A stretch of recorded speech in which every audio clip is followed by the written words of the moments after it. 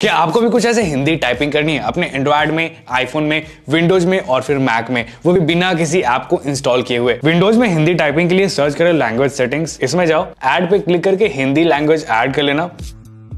इस हिंदी लैंग्वेज के ऑप्शन में जाओ ऐड कीबोर्ड पे क्लिक करके हिंदी फोनेटिक चूज़ कर लेना। और यहाँ पे क्लिक करके कीबोर्ड इनपुट चेंज करके कहीं भी आप इजिली हिंदी टाइपिंग कर सकते हो।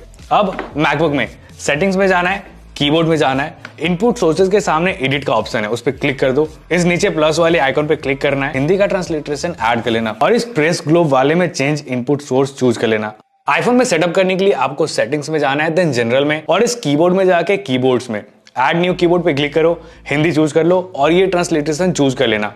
बस टाइप करते टाइम इस ग्लोब पे क्लिक करो और हिंदी में आप इजिली टाइप कर सकते हो। एंड्रॉइड में हिंदी टाइपिंग के लिए कीबोर्ड में ये सेटिंग का आइकॉन है, इस पे क्लिक करना है। लैंग्वेज में ऐड कीबोर्ड पे क्लिक करके हिंदी चूज़ कर लेना है। और ये जो ऑप्शन है एबीसीडी डैश हिंदी वाला, इसे ऐड कर लो। देन इस ग्लोब पे क्लिक करके कीबोर्ड चेंज करके हिंदी टाइपिंग बहुत ही इजिली कर सकते हो। एक ही रील में यार सबका बता दिया तो अगर रील अच्छी लगी तो सेव ज़रूर कर लेना और ऐसे रील्स के लिए को फॉलो कर लेना।